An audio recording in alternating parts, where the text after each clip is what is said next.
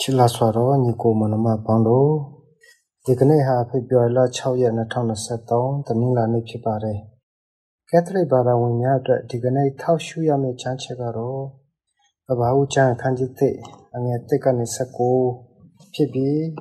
ဧဝံဂေလိကျမ်းအနေနဲ့တော့ရှင်မာကုခန်းကြီး6အငယ်53ကနေ56ဖြစ်ပါတယ်ပထမချမ်းဖြစ်တဲ့ကဘာဦးချမ်းမှာဖန်ဆင်းရှင်ကိုယုံကြည်တဲ့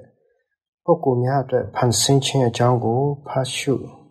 ရမှာဖြစ်ပါတယ်။ဖန်ဆင်းရှင်ဟာမိမိရဲ့ဖန်ဆင်းခြင်းလုပ်ငန်းကို အစဉ်အလိုက်ပထမရက်ဒုတိယရက်တတိယရက်စသဖြင့်6ရက်မြောက်တိုင်အောင်ဖန်ဆင်းခြင်းလုပ်ငန်းကိုလုပ်ပြီး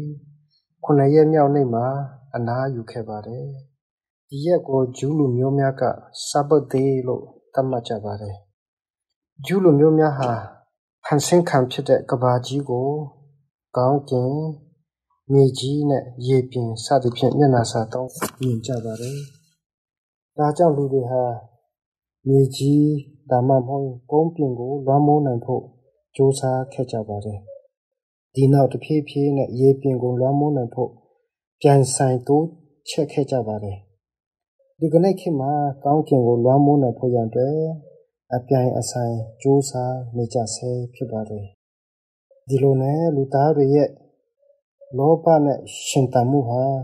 ဖန်ဆင်းရှင်နဲ့ဝေးတဲ့ထက်ဝေးလာပါတော့တယ်။အစကတော့လူတွေဟာဖန်ဆင်းရှင်တတ်မှတ်ပေးတဲ့နေရာမှာနေပြီးပီတိတာလင်စားသုံးတဲ့ဆာလောင်ခြင်းဝေဒနာမရှိခဲ့ပါဘူး။သို့တော့တနေ့မှာမိဦးဖဦးဖြစ်တဲ့အာဒနာဧဝဟာ တားမြစ်ထားတဲ့အရာကိုစားသုံးမိခဲ့ခြင်းကြောင့်ဆာလောင်ခြင်းဆိုတဲ့အရာပေါ်လာပါတော့တယ်။သို့တော့မေတ္တာတရားကြီးမားတဲ့ဖန်ဆင်းရှင်ဟာလူတွေအတွက်နှစ်စဉ်စားသုံးနိုင်ဖို့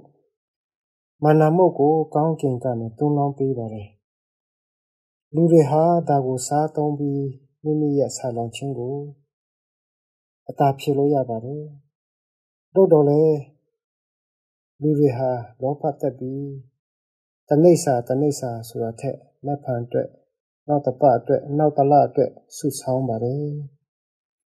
နောက်ကျပြီးလာတဲ့ပုံကူများစားเสียမရှိတော့ပါဘူးစုဆောင်းเสียလည်းမရှိတော့ပါဘူးလူတွေရဲ့လောဘကြောင့်တခြားလူတွေတာလင်ဒုက္ခရောက်ခဲ့ကြပါတယ်ဒီလိုနဲ့ဒီကနေ့ကျွန်တော်တို့ခေတ်မှာသမင်းတလုတ်စားရဖို့အရာအရာနဲ့ခက်ခဲပါတယ်လေထုံရတယ် ကောက်ဆက်ရတယ်ကောက်ရရတယ်ဒါနဲ့မပြီးသေးပါဘူးချက်ပြုတ်ပြင်ဆင်ပြီးတော့စားသုံးရပါတယ်ဆိုလိုချင်တာကသမင်းတလို့ကိုပစထဲကိုဝင်လာဖို့ရအတွက်အဆင့်ပေါင်းများစွာကိုဖြတ်ကျော်ရပြီးကြိုးစားအားထုတ်မှုများစွာလုပ်ရပါတယ်။တနည်းအားဖြင့်ဒါဟာလူတွေရဲ့လောဘနဲ့မေတ္တာတရားခန်းချောက်လာခြင်းကိုဖော်ညွှန်းနေတဲ့သင်္ကေတတစ်ခုဖြစ်ပါတယ်။ transition နဲ့ဝေးလာသည်နှင့်အမျှ human quality လို့ခေါ်တဲ့လူသားအရေးသွေးဟာလည်းတဖြည်းဖြည်းနဲ့ကျဆင်းလာရပါတော့တယ်။ဖရာရဲ့ပုံသဏ္ဍာန်နဲ့အညီတူအောင်ဖန်ဆင်းခံထားရတဲ့လူတွေဟာတဖြည်းဖြည်းနဲ့ဖရာရဲ့ပုံသဏ္ဍာန်ပျောက်လာပြီး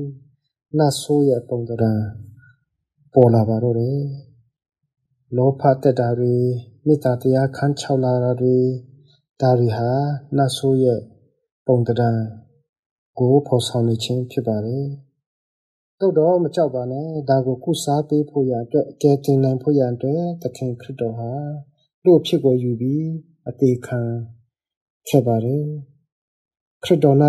ယုံကြည်ကိုးစားခြင်းနဲ့ဖန်ဆင်းရှင်ထံအမြန်ဆုံးပြန်လည်ရောက်ရှိနိုင်ဖို့ရအတွ က်ကျွန်တော်တို့တရားနာပရိသတ်တူစီကိုစီစ조사